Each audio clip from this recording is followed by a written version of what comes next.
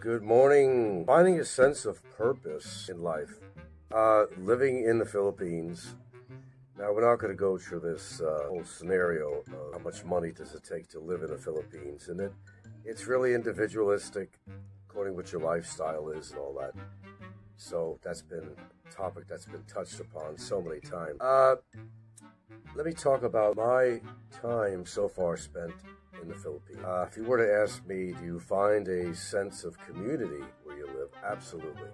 Uh, it's there's a lot of people actually in Santa Fe, uh, but people know who we are, and even if they don't know us by name, uh, we feel comfortable every time we're in town. People recognize us. Gilda is like uh, she's a social butterfly, and everybody likes. Her. Maybe John Blaze don't like her, but everybody likes her here, no matter where she goes. She's very bubbly. Um, and you can't help really smile when you're around her. So she's made a, a lot of friends out here. Um, basically, her acquaintances are mine, and as such, you know, we're never alone here. Um, we have people we could turn to, people who could support us in different ways. Um, so we've gathered not only friendships here, but you know, services, anything that needs to be done with the house. We've made a lot of great contacts with, with that.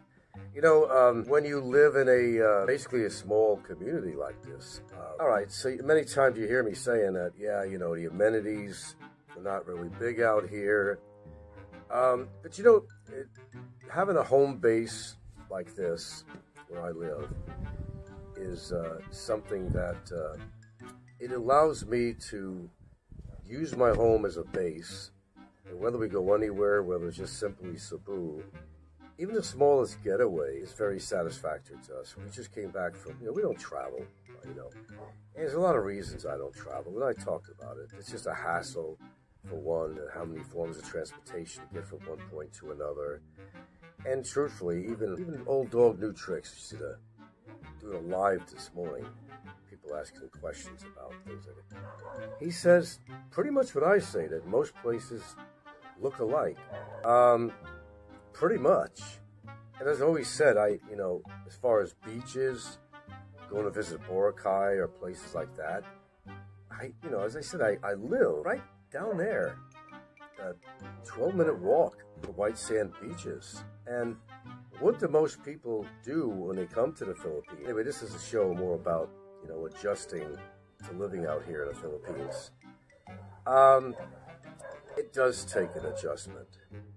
But, you know, I, I look back, oh, about the beach thing. Yeah, I live right close to the beaches. So, um, let's see, I'll trip to Baguio. I haven't been many places, you know. Leyte, of course, I've been there. I've been most, a lot of the surrounding towns of Cebu City. Been in and out of these places. I've been to Surao Mountains outside of uh, Lahug you know, places like that. But um, yeah, we generally don't travel a lot. It's just that it's not, you know, it's not really a matter of affordability. It's just a hassle, you know, and where I might have been a lot more adventurous when I was a lot younger. I don't really have that total sense of adventure right now. I'm kind of comfortable in my own place, and I don't mind uh, hanging around, watching a good movie. Uh, I mean, even a, a, a small bangka boat trip to a nearby island, which we're going to be doing more of. Uh, I get enjoyment out of that. You know, it's it's a matter of having. Um, it's really a sense of community out here.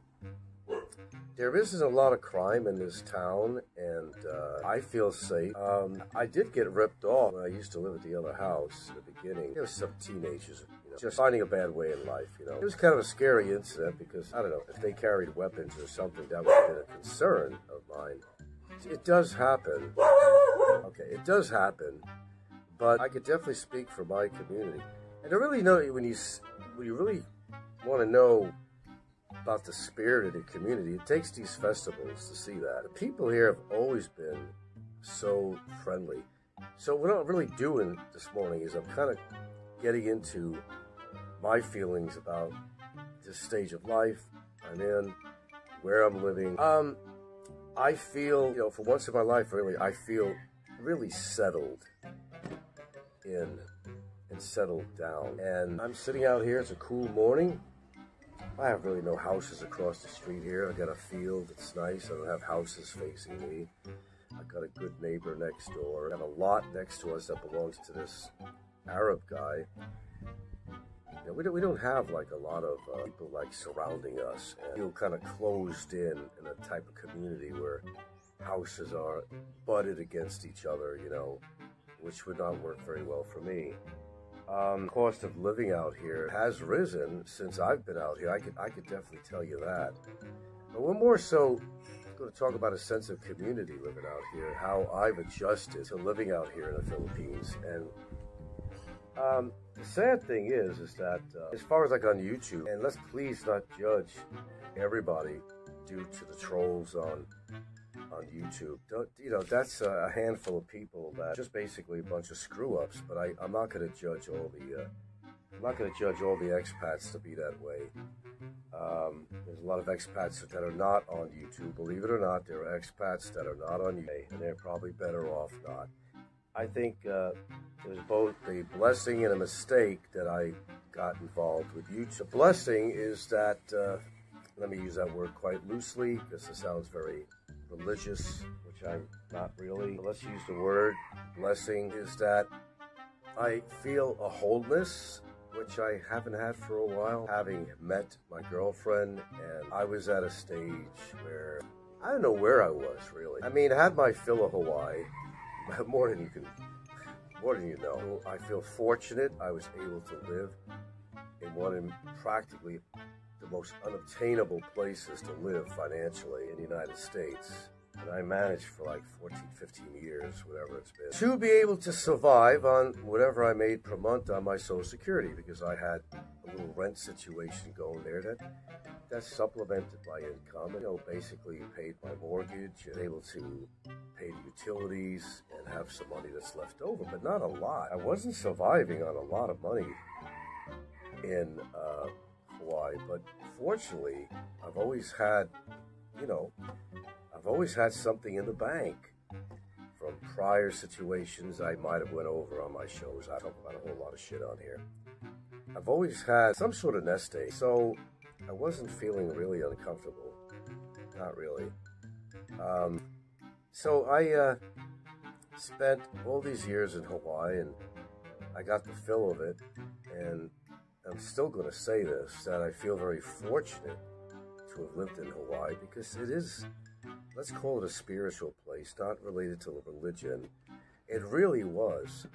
I mean, I've been to areas in Hawaii where kings, I've sat on stone benches that the kings have actually sat on. It was looking out at the ocean. Uh, even being a place very spiritual called a uh, place of refuge, and there's a Hawaiian name for that, but called the place of refuge, where if you committed any kind of crimes against the society, uh, it kind of goes like this: if you were able to swim out to this location, you'd be kind of absolved of your crimes or whatever.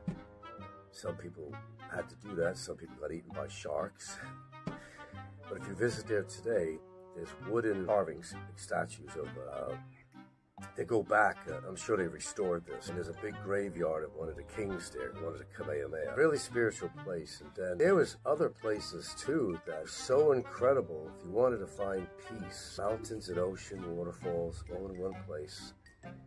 I felt very privileged. I mean, I felt I felt very privileged to live in Hawaii because not many people could afford to live. For people thinking that Hilo, Hawaii, which is the general area side of the island that I lived on, they thought was poor.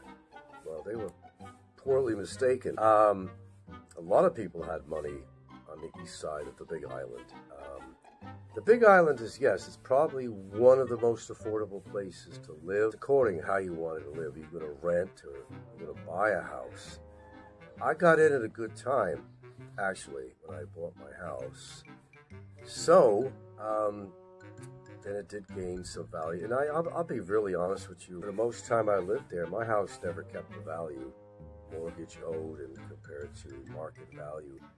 It then it came to be a, a really good time when it was a seller's market. And you know, I got tired of being a landlord and all the bullshit I had to go through. And you really don't know all the bullshit. You just know what you think you know. That's all you know. But I'm not going to get into that. Let's just say I got tired of being a landlord, and uh, it was just time to, fly to Coop. And fortunately for me, on my trips to the Philippines, I did finally meet somebody after some trial and effort that opened up my whole world wide open. I'm still with her now today. And, uh, you know, sometimes I do, sometimes don't always appreciate where I'm living here. Well, you probably say, well, you know, got Hawaii. You had to appreciate it living there. To a certain point, I did. Getting involved with botanicals, you know, I, I was really into that stuff. I, I don't you know how much I was into that. We grew around there, where there was a few fruit trees, you know, bushes, you know, um, New Guinea impatiens were everywhere. There was so much color I had at one time. There was always something to do around the house that kept me busy all the time. But I, I really didn't have a lot of friends out there in Hawaii. It was kind of difficult making friends. I didn't fall into a certain, well, you know, this side of the island was, you know, you had a lot of quasi hippies, uh, new age hippies, you know, the marijuana culture, which I just really never got involved with. Um, of course, I've gotten high off pot in my life. Sure, I have a few times, but it wasn't for me. I, I was right in the middle of, I call it guerrilla territory, where we had DEA helicopters would come down and, know, wind up confiscating everybody's stash. You see them guys climbing down a rope coming up with a big armful. well, they just go down there and they'd spray their crop with this black goop that would poison it. and They could never use it, you know. Everybody was very private, you know. Kapu with the signs you see on everybody's gate. Kapu meaning stay the fuck out. Don't dare come in my property because they were all growing. They were all growing. The economy in in, in Hawaii was dependent a lot on the marijuana industry, whether you knew that or not. Certainly on a big island. Whether you knew that or not, you know that now. It was big time. But you know, ice, the drug of choice out there, was getting really bad. And so many ice addicts, you know, meth, and it was stealing and there's other crimes. Then there was this attitude, of course, I've talked about Hawaiian nationals, know, whether they were full blooded or not. Most were not full blooded. Uh, but they had this sense of, you know, you're invading our territory. You know, we want you to know we don't like you. But I went through this before. You know, they depended on everything from America, cars, programs, governmental programs that helped them. I don't even want to get into that. There's a lot of hypocrisy going on in Hawaii, okay? A whole lot of hypocrisy. So I don't regret moving to Hawaii when I did. Beautiful place. The waves were different. The ocean was different in the Philippines and Hawaii. Far better, far better. Uh, don't get me wrong, I like it out here, but the ocean, yeah, there's a lot to say about the beauty of the oceans and the waves and places you can go to at times of the year. 40 foot plus wave breakers would come in, mostly like in Maui and Oahu, and just incredible surf to watch. That was worth it alone. Um, seeing whales, I used to do a lot of time, binoculars and whatnot, uh, looking at the dolphins and the whales passing through. Just, just incredible. So I do not regret living in Hawaii, but it came to a point of time when it was enough for me. where my life, it was not going anywhere. I did not have the biggest social uh, structure in my life at all. There, I really didn't. I lived day by day. Pretty much I'm doing here, but it was different. I mostly be working in the yard, you know, doing things like that, making trips around the island or specific places. There were beach resorts on the other side of the island. I'd go to Kona every now and then, which had more activities than Hilo because that was more of a tourist place. Well, it's good. I mean, Hawaii's good. Not for everybody, though and I kind of grew out of my, you know, grew out of my shorts. I needed a, a, different size shorts, okay? So I needed that change. I'm so glad I started my quest or interest in the Philippines because I, I don't know, I couldn't really be in a better place that I know of. I, I just don't think so.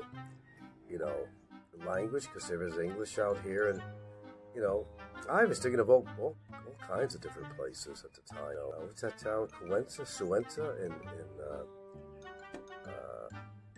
not the name of this town, but there was places outside of the Philippines, different countries I was considering, but Spanish very heavy. and I know a little bit, but not enough. So that, that was kind of out of the question. Was it Cuenca, Ecuador? Ecuador. That was a place I was thinking about. You know. Anyway, a lot of thoughts came to my mind. Anyway, I wound up here, and God, the years are going by so fast, and uh, I've managed to keep my head above water because I always planned ahead.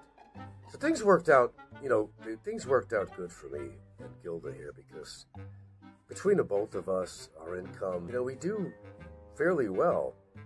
Um, at times, I do find myself withdrawing from my bank account when I have to, but that's what it's all about. But the people, I don't want to get into what it costs, the living and all that to stay out here. But uh, my Social Security check alone has never been a problem. I don't know what they're talking about. Living below poverty, whatever. Well, you know, I was on Social Security for a long time, so I was living below so-called poverty level in America for a long time, and I, I managed, so I don't know what all this bullshit's about. my Social Security check, just that alone, we could live off, and we've been doing that for a long time, actually. Except this past year turned out good for us. We made some wise investments, got involved a little bit of this, a little bit of that, and so it's really helped us out a lot. I mean, really helped us out. But don't forget, money was carried over from other sources and all that crap. And no, I'm not rich by any standards, not even by American standards. Certainly not. I'm really not. Uh, I haven't been bullshitting you about my income. I, I, have no problem saying I make, what is it, 14, 20 a month on Social Security. There's nothing wrong with it. I can live on it. And I've been, prior to last year, I've been living off that. Didn't matter. If I needed money, I'd go to bank. So we, we've done okay. We've done okay. I'm not really big into travel. I'm going to be honest with you. I'm not really big into traveling. And I, we decided to go over to Baguio because I, I like the mountains. It's uh, a, for a change. And then although I bitch a lot about the hot weather at sea level here, I had to bitch about how cold it got in Baguio at times. I wasn't used to that, so it gave me an appreciation for where been living now. So it really did. But it wasn't the worst experience. It wasn't the best. Uh, because there was a lot of pollution there, the amount of cars, even at that elevation. But it was, you know, you know, it was really interesting. We were flying over the mountains, getting there, even going back. You could see all these homes. I mean, talk about some really remote areas in these big ass mountains range and covered. I don't know how many thousands of square miles. It's just incredible. And you could see, because the plane, you know, didn't fly that high. And you could see that there were little villages and establishments in these mountains. People, you talk about living remote people do it out here. They, they certainly do. They manage. Just flying in that plane, looking down, it's amazing what you see down there. I never knew there were lakes up there. for what I've seen, I've seen a lot of dams. There were dams I could see up there from looking down. They were absolute dams. They were. People manage. So here I am. I found myself, of all places, on another island. I lived on an island in Hawaii, and found myself on another island again. To be a pattern to this, you know. It's not a huge island, and it's under Visayan Sea, uh, fishing village, basically. Uh, the people are really friendly. I never had a problem with anybody. Never had not one problem with trying to think. Oh, I might have had a few people that have serviced my house that I can't say I had a real problem with, but maybe just like they were charging me because I was like white as snow. I've been taken advantage of that before, like most, like most people really are. If you're a foreigner, that's always bothered me. But I gotten used to the idea that it's kind of like trying to figure out you don't know any better on the prices and try to take advantage of you. Remember that guy who was trying to sell me a car once? You know, remember I played his recording on there. He says, "Well, you know, you're a you're a Westerner and you got money." So in other words, I, I can afford to charge you more than the car is worth.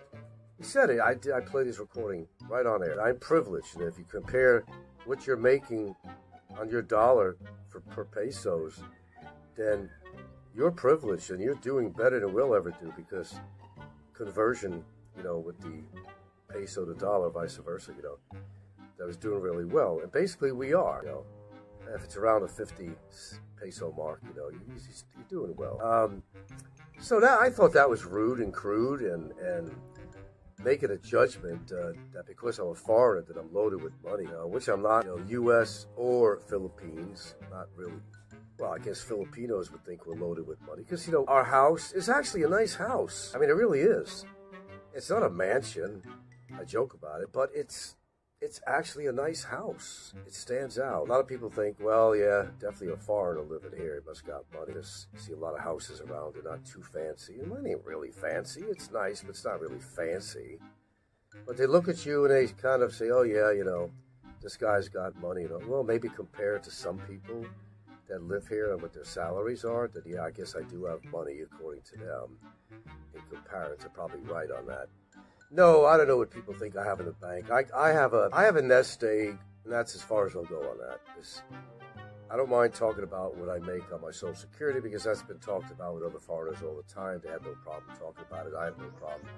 Some people make fun of it. Ah, oh, you worked all your life, and that's all you make is fourteen hundred twenty. Well, I was a little more than that. They took one hundred sixty off top uh, because of my uh, Medicare, and I had to pay into this. It was well overdue. Kind of got away with that for a while uh, hit between the cracks somehow. But uh, the Medicare Part B, so I actually made more than fourteen twenty a month. Add 160 to that. It still isn't bad. It's not bad. I mean, to live under the amount that I make on Social Security, yeah, I could see, is according to your lifestyle, where that could be a problem. We got two kids living with us here, so um, and we well, we have expenses to pay like anybody else. Food and electricity, things like that, you know, internet, all that shit, you know, clothing for us, for the kid, over-the-counter products, besides food and stuff. I mean, it adds up. We're doing we're doing okay, actually. Thank you very much for anybody who gives a shit. I am doing okay. Um, health-wise, I'm even surprised I've been holding up, really other than the obvious thing, I always have, I told you, I always have allergy problems. Lungs seem to be holding up, you know, and despite the the bad boys out there that say, oh, you're going to die from COPD. Well, I hope not. I certainly hope not. I don't have it. I've done spirometry tests. Other than that, it's just some other ailments. I'm going to talk to my other shows. Just got other ailments. I'm okay. I'm really energetic. And you'd have to see me no matter where I was, Cebu, anywhere else I'd visit. You see me walking through the street, you say, how does this guy get that energy? He walks so fast with so much energy. You know, I'm up and down steps, up and down steps, this and that. I'm not doing bad for my age, actually. I used to question myself and I said, Am I really doing good for my age? It took people like doctors to tell me that, you know, you're okay, Mr. B. You're too concerned about live your life. You're too concerned about if this happens and that happens. Well, you know, you start thinking about your mortality when you get a certain age. I, I guess I'm no different than anybody else. But I guess I would probably have to say that I'm doing better than a lot of people. Certainly that I've seen on YouTube here. I mean, if I had a wild guess at what their health situations are, I'd probably be right. I'm okay, is what I'm trying to say, and put it in short terms. I'm okay. Um, you rarely hear me cough. In the past, I, I did when I had my allergies would act up. I'd be coughing a lot. The only time I cough, like like right now, is when it's an early morning dry cough. I do that now and then, and, and while having this sinusitis thing happen from I come back from my trip on my nose, I get postnasal drip, and that could make me, you know, cough a little bit. I might have to spit up something. Other than I'm okay. Family I have now is my family. I'll be quite open. Definite dysfunctional family I've had. Definitely dysfunctional. I didn't want to be part of that dream team, if you know what I mean. I just did not want. And blood or not, it didn't matter. But respect has always been the important thing to me. Our politics could be different. If you don't show me respect, I don't care who you are. Blood or not, daughter, mother, father, brother, sister, don't make a damn difference to me. If you don't show me respect, I'm not going to give it back, and I'd rather live my life without you because I have a family right here. It's the first sense of family that I've ever had in a long time. The kids are really amazing kids, and they're smart. Mom did something right. And through my guidance, they're doing very well out here. Thank you very much. And we have no quarrels around here at all with the kids. Her family is definitely my family. I'm regarded, I fit right in like I'm just like I'm a Filipino in their family. Never the color, never less the color of my skin. I'm not looked at differently in any way at all. They all respect me. I never got that from my family. So this is my new family. It is family. And when my day comes to leave this earth, I would have died living the life that I chose, that I wanted, that I succeeded in living. I've always made choices and I kept to them. When I, from, when I left New York and I went to another state, lived there almost a lifetime, I lived another state, it seemed like another lifetime. It was good for its purpose and it was good for its time.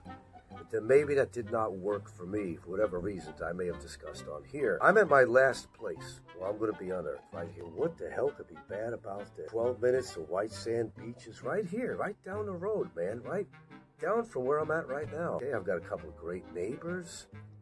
I feel comfortable in my own skin. Um, I'm not phased by all this judgment on YouTube. YouTube is just a, a smidgen of my life that I come on. And what people say about me or this or that, it's just, it's according to what they say. And unfortunately for some, it kind of come to a bad road for them. They kind of went over that line. I always say I have an imaginary line in my life.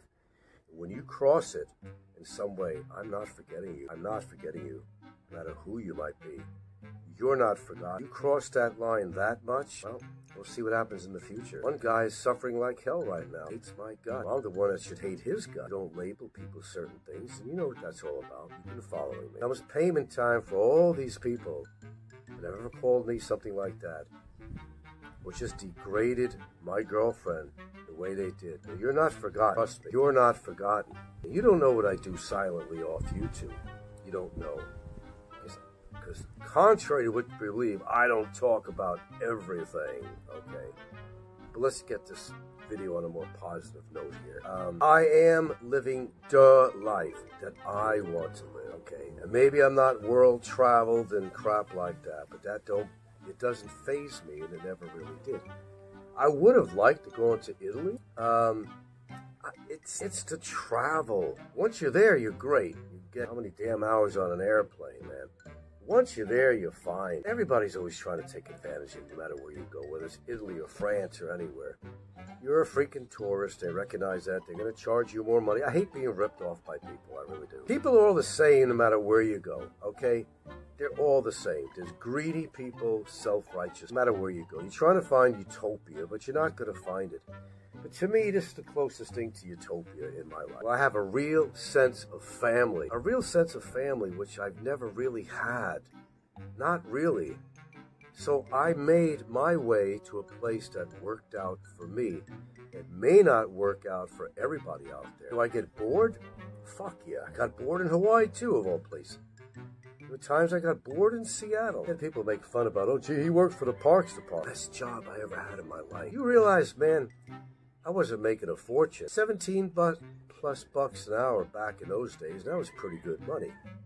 The benefits were great. The bennies was just fucking great. I took advantage of it, man. I was working in beautiful park the beautiful park. I wasn't behind a desk. How much is that worth to you? Well, Frank didn't make a lot of money. No, I didn't make a lot of money. But Jesus, Christmas, man. Have you ever been to Seattle? Have you ever seen their parks? How many of there are?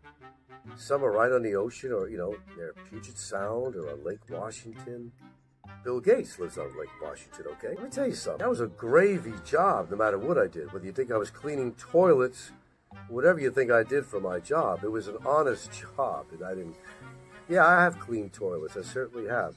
It's according to what hat I was wearing. As I told you, I worked everything for horticulture people. Uh, I worked the grounds crews, which consisted of doing grounds maintenance, weed eating, aerating, you name it. I did all that stuff. I enjoyed being out in the parks doing this stuff. In a great climate like Seattle, it was never that. The winters could get cold, but the summers were pretty good until the end of the summer. It could get real hot. But Jesus Christ, man, I was basically on my own, in my own truck, riding around. I listened to the radio, man, have my lunch, whatever. If I had to stop off somewhere, whatever, on my route, I'd stop off. I had to go to 7-Eleven or something, man bullshit with somebody in the park, you know. I mean, it was gravy, man. And people make fun of my job, but it was gravy. It was, it was. It's just that I, I worked with a lot of fucking losers that didn't want to do their job, and I wind up doing a lot of their job. But did I get the credit for it? No, I didn't. That, that's what kind of turned me off, where I kind of needed to change. And that's why, really. I just, you know, I got burnt out. My daughter didn't like it, the idea I was going to move out of Seattle. She had just having a baby. In fact, the day I was leaving, she had a baby. I was there long enough at the hospital to see the baby born, see the baby was born. And I had a van waiting for me at my rental at the time. I moved out of the house that I sold. So you didn't know that, did you? Okay. And uh, had to go. My dog didn't even know what was going on. I had a, a, a kennel waiting for the dog.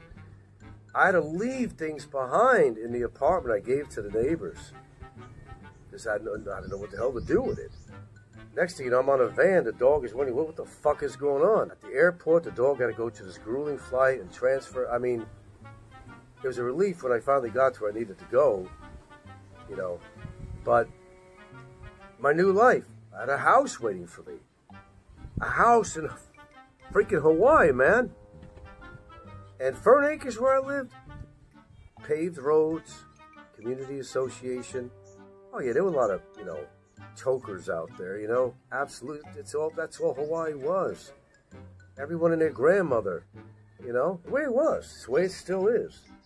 But the beauty that I experienced in Hawaii, the spiritual moments that I experienced in Hawaii, was seemed unachievable anywhere. Some of the little remote beaches where people gathered, it was kind of like a a Woodstock festival at one of the places, you know. But the way the waves come crashing in, it was a black sand kind of beach kind of thing. You had to climb down the rocks to get down there. There was no trail. Nudity was allowed there. It wasn't a public park. It wasn't, you know, wasn't maintained. I had some great experiences living in Hawaii. Please don't think I didn't. I mean, that was one heck of a spiritual place. It really, you know. I don't regret live in New York. The greatest, well, the city would be the greatest city in the world. And living in the suburbs of New York, had a good childhood. Can't complain about that. Parents weren't rich, but, you know, we never went without. There came time to spread my wings, and I did. And That's when I moved to Seattle because I'd met a woman at the time, blah, blah, blah story. I ended up staying there like 25, 26 years. I got to experience living in New York Washington State, beautiful pine trees, beautiful glacier lakes and mountains and waterfalls and raging rivers. I got to live and experience. Incredible, incredible. And moving on from there, you know, Seattle to Hawaii, that, you know, that's the progression it was. Was Seattle to Hawaii, then Hawaii to the Philippines. Am I happy I made this move? I questioned myself at the beginning, and I don't question it anymore. Just, I'm here to stay. That's it. I live and die here. For those that don't live, think I'm living a good life, think all you want. I don't know what's a good life to you. It might be different. What you think is a great life, what I think is a great life. No, I don't have to be traveling here and there. I kind of choose not to. I know, whether from places I've seen already or from videos, Every town looks alike. The same shit. Trikes and jeepneys and sari-sari stores. The only difference is maybe the terrain, if you go to a mountainous region, or a different type of ocean that has different, uh, I don't know, you want to call it topography, different type of beach atmosphere. Might be a little more to see, like big hidden caves, some beautiful coves. Oh, yeah. There's some incredible beaches out there I have not been to. But it's not a prerequisite for me to live here is to have to go to Palawan, those places I haven't seen. There are beautiful, oh, I mean, hey, what I've seen, there are beautiful places in the Philippines. I watch a lot of TV, even though I've never been to a lot of these places, I know there is beauty in the Philippines. It doesn't, my life ain't over yet. It doesn't mean I'm not going to any more of these places. But I'm actually very comfortable in my little niche where I'm living right now. If I want to go somewhere, we make a trip. Simple as that. When I'm ready to do it again, if I decide to choose a particular place, I'm going to be very particular this time to choose a place to go to. I'm happy. I'm happy being with my girlfriend or children, my two dogs. I am truly loved. Are you truly loved? You got to answer that question. I can't. Even my dogs love. I'm happy. Okay. Sometimes I do get bored, but I'm I, am really happy. I couldn't have found a better partner. For her to put up with me, and I'll say that out front, to put up with me, she's a good gal, let me tell you. I, I don't deserve her. I know that. We love each other, and I found the love of my life. I found a new family, and even though my own blood family not on board with everything with me, that's okay. I did my job as a parent. I'm proud of the job that I, we don't see eye to eye in modern contemporary times. oh well. I made my efforts, and you can't change people if they don't want to change, folks. You just can't. It's an impossibility. So I'm not going to try to do that. I'm going to live my life until the day I die. I'm going to live my life my way, the way I want to live my life, without anybody telling me what to do or what I should be doing, or you know, they don't like my politics or whatever. Fuck that. Now, no matter who likes me, even on YouTube or doesn't, it doesn't matter to me. I'm still here. I'm doing my thing. It's those who appreciate my show and how open and honest I am. And there's other people that don't. You're going to find something wrong with everything, even the dogs. I mean, you know. find something wrong with Gilda. Attractive woman, by the way. And everybody knows that. Now, I've heard this more than one time on here through the years, even from some enemies or nemesis, let's call them that, nemesis. I lucked out. Okay? Everything fell. The ducks came in a row. Quack, quack, quack. They all came in a row. I'm fine. If you have any question about it, just don't bother to question it. I'm telling you, I am fine. My health is good. You know, so far, I'm lucky. My relationship is solid. It always was. I, I believe will continue to be solid and grow even more in time. So, why am I living a bad life? To who? To you? What do you consider a good life? Oh, well, you're more traveled than I am? Maybe your shit doesn't stink? Sure, I'm sure you got quite a stinker to make sit and make judgment of me and my life. How do you make judgment of me and my life? How do you know what's real and what's not real on YouTube here? Because somebody says this and that about you. Does that mean it's true? You know what the fact is? Even the worst trolls out there that give me a hard time, they know I'm living a good life. They know I'm happy, but they just they just want to yank my chain, is all it is. I know that's all it's ever been. They like yanking my chain to get a reaction. That's all it's ever been. Even the biggest haters out there are actually envious of me in some ways, and I know they are. I mean, I know this without doubt. Some of them might even be attracted to me. Now, that's scary. But look, I don't really claim to be anything that I'm not. Just me. You either like me or you don't like. It doesn't. It's not relevant, really. I don't care. I got what I want inside this house. A beautiful lady, proper age. I'm not going after bubblegum chewers. That's desperate. That's desperate. And I also think it's pretty sick. I don't, you know, my gate don't open that way. I'm with a mature woman. I wouldn't have it any other. I would have absolutely nothing in common with anybody a lot younger than her. So, did I achieve my goal? Yes. Some of you don't like it too fucking bad. I'm living the life that I want to live. And you notice I'm a lot smarter than you thought in the beginning, didn't you? I've been accused of everything in the world on YouTube, and I've always come through. Like Barry would say, prove it. Why? Because somebody had uh, a bogus lawsuit against me in, in Hawaii. That's all it was. That's all it was. By greedy people that saw a paycheck ahead and are never going to collect on it. So, you know, he said my relationship wouldn't last more than six weeks. It's been eight years. They were claiming I never owned a house in Hawaii. And they figured, oh, yeah, you actually did after all. Crow City, USA. Everything they accused me of, I've, I've proved otherwise. Everything from a wheelchair girl, that was a good one there. Well, Big E kind of saved the day with that. Yeah, he went through the same thing with this one. It was greedy. I, am not going to say I talked myself out of all the bullshit out here, but I think my, I made myself abundantly clear without having to put solid proof down on anything I was accused of. Everybody saw, and they know all this bullshit is all hearsay and crap just to pull my chain and all that stuff. I think everybody, even the biggest trolls, they know that. And it's just pulling my chain. That's all it really is. But someone pulled my chain a little bit too much. Now the asswipe is in jail. It's going to be his ninth month. More to come. Oh, you still have to ask that question to him. Was it worth it? Was it really worth it? Is it worth it to anybody to attack somebody like they do on here? No. Is it worth it? Right, John? Maybe you'll figure out someday if it was worth it attacking my girlfriend the way you do. Like I said, man, I could do a whole parody about your girlfriend's mole on her face, but I'm not going to do that. Because I'm a nice guy, okay? I don't want to do what you did with the thumbnail or with the... What is it about attention they're all wanting so much? Is that why they come on YouTube? Is it the attention they're looking for? Negative or positive, it's still attention, right?